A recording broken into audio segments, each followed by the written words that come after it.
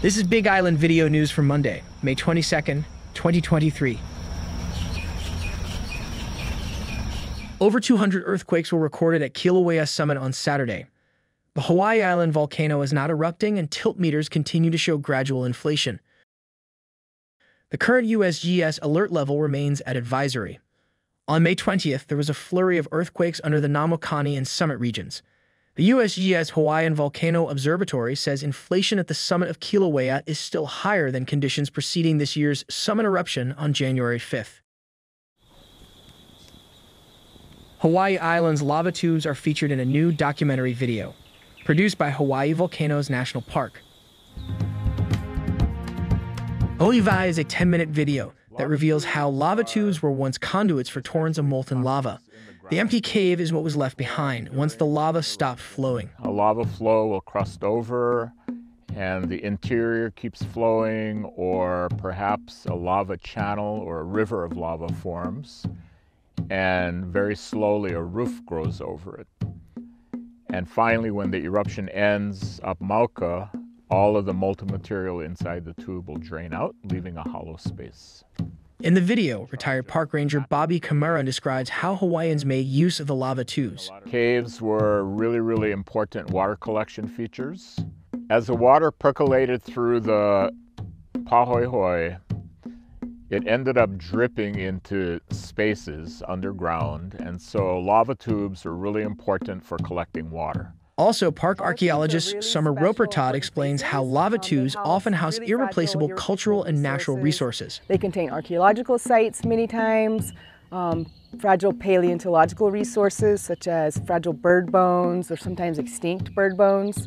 Um, they also have uh, geological resources a lot of caves have really cool geological formations that are really fragile, like stalactites and stalagmites and other really cool features. Um, and they also house fragile biological resources, and each cave is really its own living, breathing ecosystem with roots from trees, insects, moss in the cave entrances, plants, and uh, minerals on the walls. All lava tubes are protected in Hawaii Volcanoes National Park. Because the resources in them are so incredibly fragile, it's really, really important to, to observe them from afar.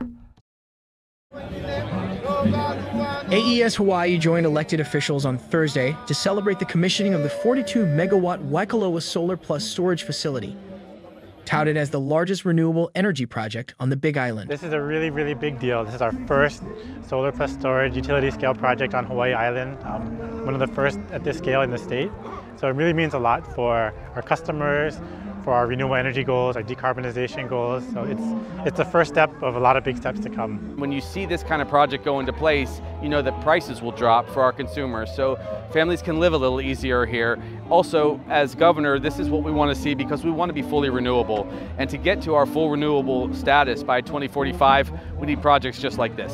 We have nine renewable projects that are either in operation or under development. And across all of our projects, we've invested about a billion dollars in the state and created almost 1,400 jobs. So this industry is a real economic driver for the state and really can help with creating full-time sustainable jobs for our keiki going forward so that we can keep them on our islands.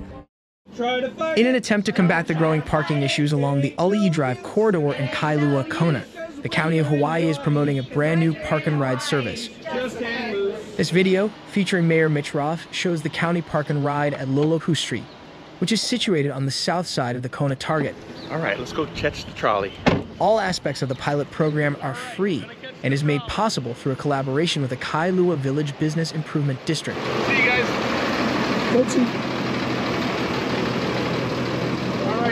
everybody. I'm going to sit up here. How many guys are local? The parking hours are from 7 in the morning to 6 in the evening to accommodate peak hours for businesses in the area. All right. All right. Aloha.